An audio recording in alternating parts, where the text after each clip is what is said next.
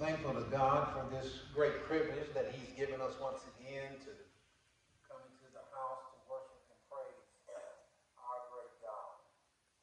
I was so touched by our series, Reasons to Rejoice. There was a passage of scripture on worry and anxiety that just kept on my heart. and I was led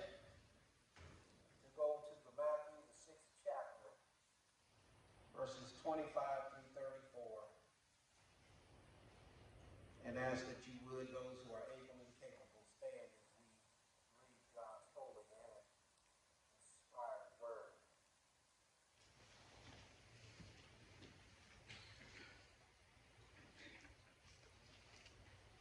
Are we there?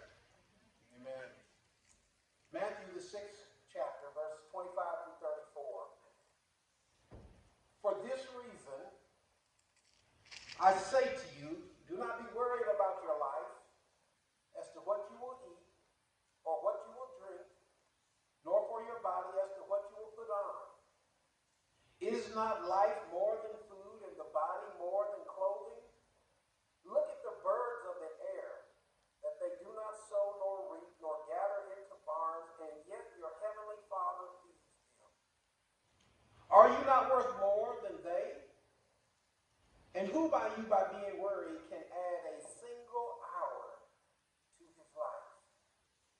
And why are you worried about clothing? Observe how the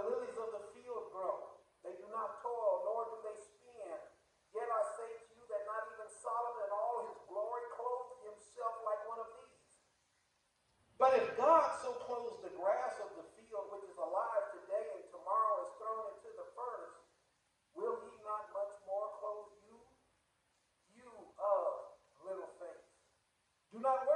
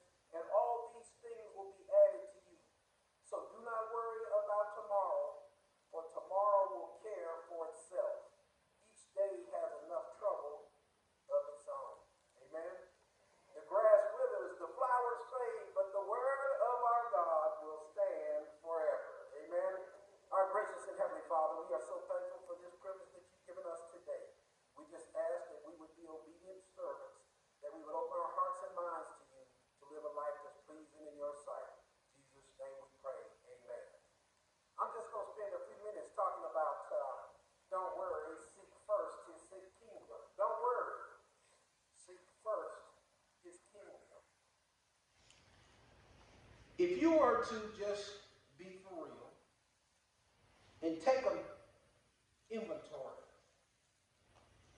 over your life, what are the things that caused you to worry? If you think back and, and look,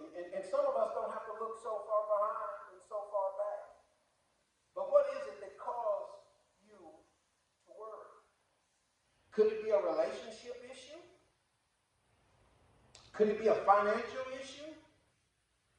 Could it be a social issue? My brothers and sisters, if we'll be honest with each other, all of us have worried, and somebody today, under the sound of my voice, may be worried. I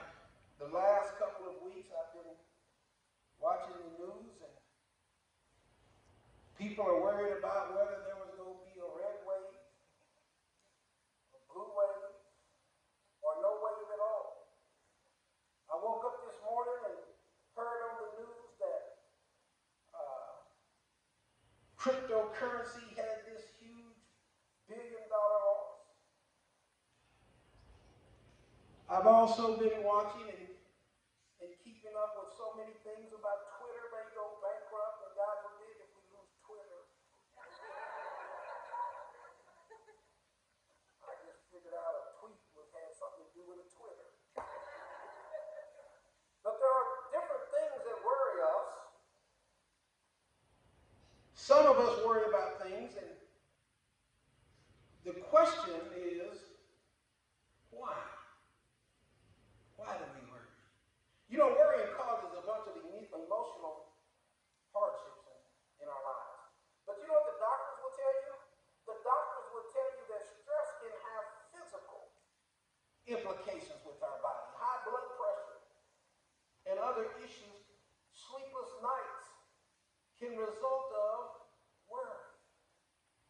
So I'm, I'm praying this morning that we would open up to what God has to say to our hearts, that we could not worry, but seek first his kingdom.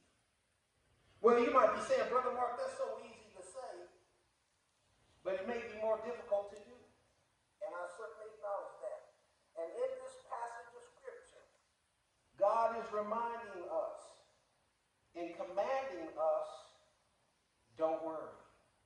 Don't worry. You know, worrying in the means of being choked or strangled, and sometimes worry, worry can do that to us. Worry can strangle us, choke us to where it just dominates our thoughts, dominates everything on our minds. I don't know about you, but I've had some issues in my life that it just dominated my life. But here,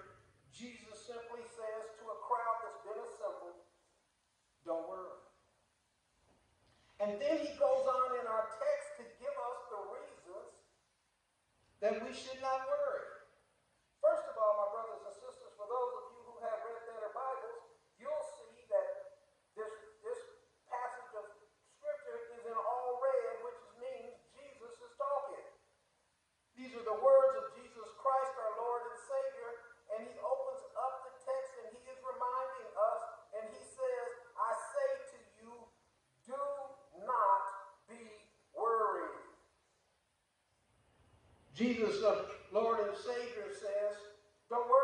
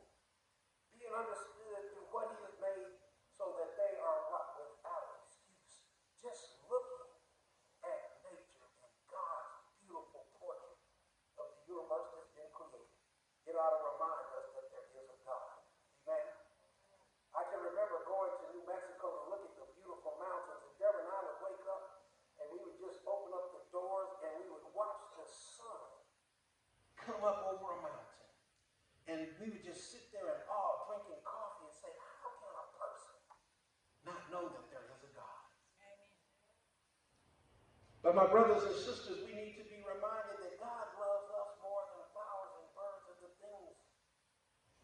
And then he reminds us of another reason that we should not worry. He tells us in verse 27, worry does not change things or people. You worrying doesn't make a difference. You worry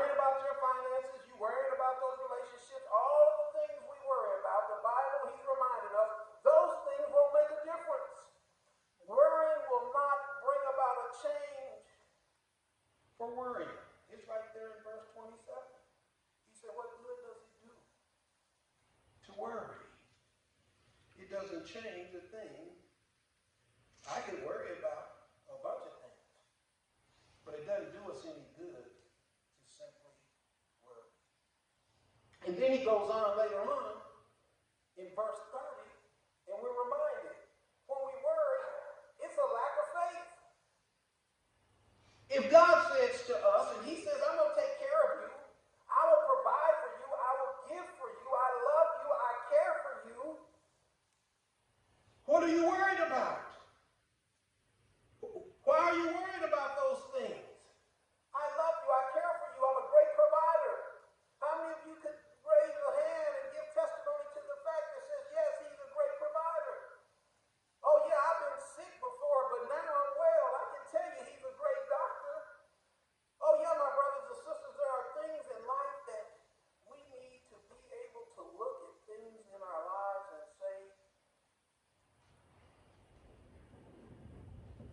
Doesn't make a difference to work.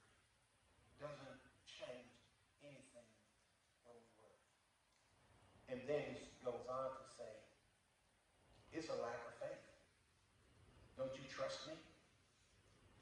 You, haven't we trusted the Lord and said, Lord, I trust you in all things? So when you're going through something, do you think it's a surprise to God? Do you think it's a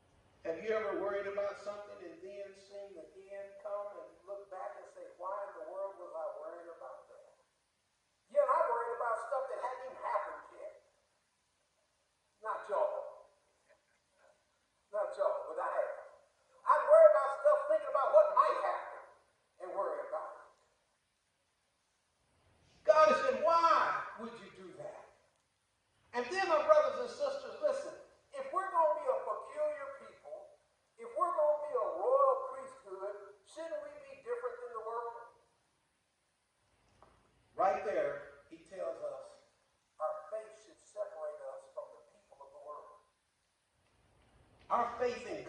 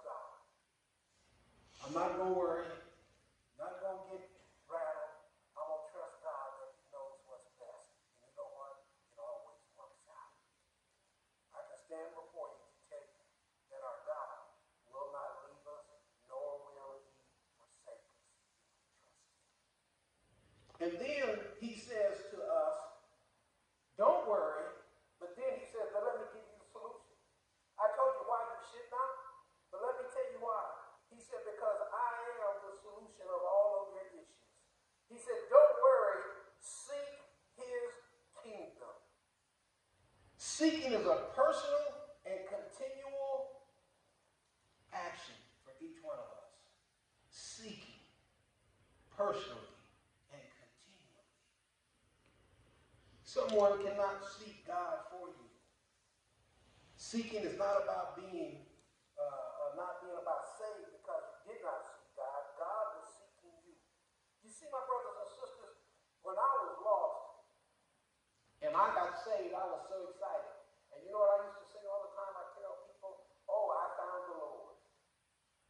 No, no, the Lord found me.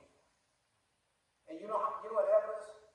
If we just go back to the very beginning of Genesis in the first chapter, we find out that a beautiful world was created for us. Everything was set up perfect by God. And who messed it up? Amen. We did. Adam and Eve messed it up. Sinned. Disobeyed. But when God came back, who did the seeking? Was it Adam and Eve who, sought out God and said, God, I've sinned and, and, and please forgive me? No, no, not so. They hid. It was God who came to them. And from Genesis to Revelation is the story of a loving God reaching out to fallen and sinful people to trust in his Savior from the beginning to the end. Then here in our text, when he says, seek these things, the kingdom, what does that mean? It means that once we're saved, there should be a difference in our lives. 1 John 4 19 says, We love because he first loved us. You know what was so amazing about me when I, well, about what, what I was so amazed about was how God could love me so much that he died for me. And because of his love that he experienced to me, that's why when people say and do things, I love them in spite of what they say. Because that's the love God gave to me. Unconditional love. And that's what we should have for each other. We should have that kind of love. And then he goes on in Luke 19 and 10 says, For the Son of Man has come to seek and to save that which was lost. He's constantly seeking and knocking on our doors. And we just have to be there to answer. And once we answer, my brothers and sisters, seeking requires effort. This is the passage that we talked about in that in Philippians, in that fourth chapter. Be anxious for nothing, but in everything by prayer and supplication with thanksgiving, let your requests be known to God. Yes, it requires effort. That means that we go to the Lord seeking Him for guidance, seeking Him for information. Isaiah 55 6 says, Seek the Lord while He may be found, call on Him while He is near. You see, my brothers and sisters, when we are those things are happening in our life, we ought to get down on our hands and knees and pray and know that God is there to answer our prayer and seek Him and say, Lord, you know what I'm going through. Give me strength and courage to stand up. Jeremiah 29 13 says, You will seek me and find me when you seek me with all your heart. All your heart. And you know, we need to get to the point in our lives and our prayer life where we just, because God already knows our heart, He already knows our condition. With all your heart, go before Him. And then, my brothers and sisters, this seeking requires us to have a prayer life. And I hope that each one of you are in communion with our great God every day. And I hope that as your day goes by, you find opportunities to pray for and then read His Word. When I was reading this passage of Scripture that today, I was so comforted. And it just jumped out at me. Here are the reasons not. Here are the reasons don't worry. You see, my brothers and sisters, every time I read and study the Word of God and I hear God's voice, it's comforting.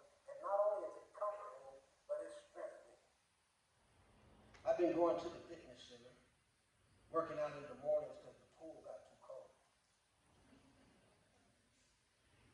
And so I was going back there doing some weightlifting. There's a lady at the fitness center, and I think she was born in the gym. She looked like she was sculpted, or just really.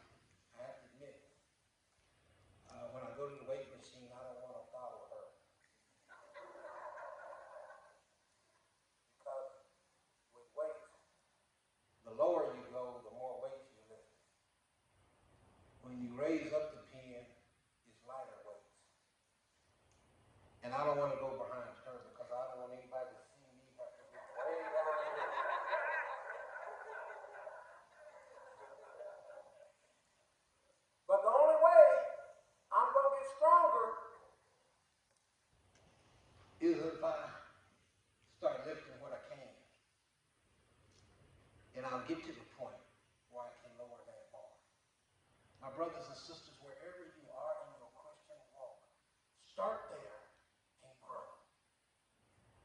And after four weeks, hey,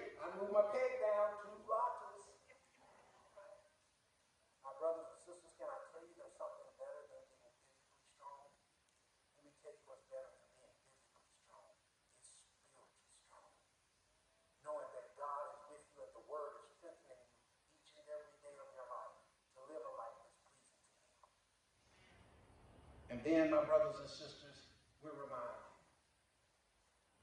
First,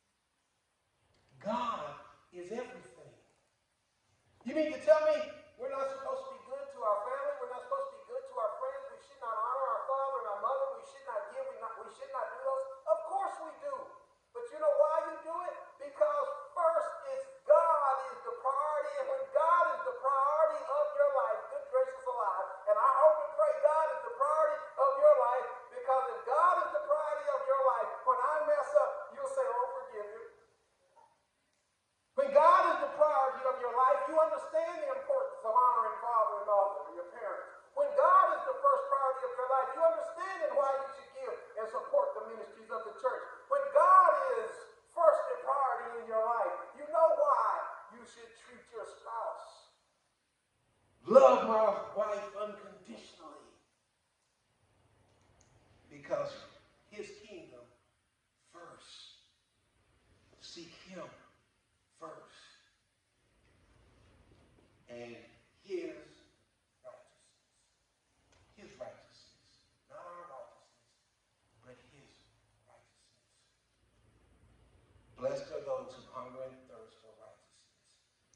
shall be satisfied. It was his righteousness that we were justified. It was his righteousness that the penalty of sin was paid. It was his righteousness that we were free from the power of sin. It was his righteousness his righteousness one day that will flee, take us from the presence of sin. We must also remember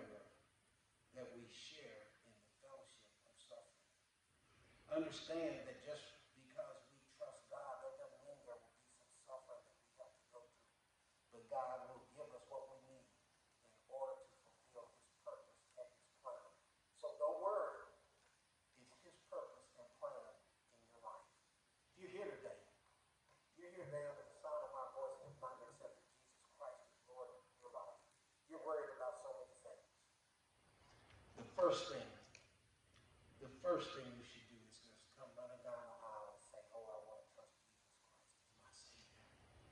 made that decision.